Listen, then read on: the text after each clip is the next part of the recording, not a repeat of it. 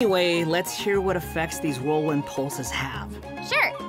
When the whirlwind pulse hits opponents, it will decrease their Anemo resistance. It will also apply an Anemo damage buff effect to all nearby party members when it's unleashed.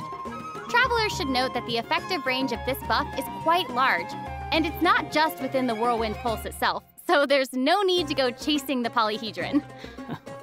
After unlocking her talent, Lost Wisdom of the Seven Caverns, when a team member uses normal, charged, or plunging attacks, elemental skills, or elemental bursts to deal Anemo damage to an enemy, the damage will increase based on Faruzan's base attack. This effect can only be triggered once for a certain duration of time. Oh, so it seems